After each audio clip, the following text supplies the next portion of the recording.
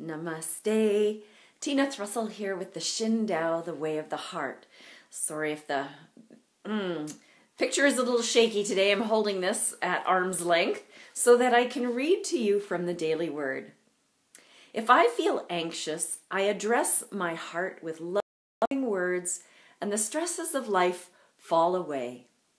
My, by blessing my body, my whole being, body, mind, and spirit, settles into relaxation and ease. When I recognize and appreciate the miracle that I am, peace fills me. My thoughts turn to peace, peace within me, peace as me. When I turn within and become quiet, I see peace shining from deep within me. No matter what challenges may loom before me, I remember that peace is never more than one breath away.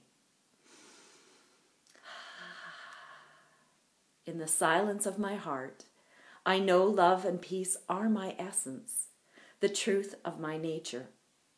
Peace warms my heart and guides my actions. Peace is the nature of my being. And this really is Good morning, Carla. This really is where I've been feeling lately is wanting to focus on that peace within so that I can spread peace in the world. And I remind you, excuse me, that peace is the nature of your being. Peace is the true natural state of your heart. And I invite you to go within, to breathe deeply, to remember that and find that quiet state of being that comes from knowing you are that peace. I love you. Have a beautiful day. Feel free to share this video if you feel it may be of benefit to others.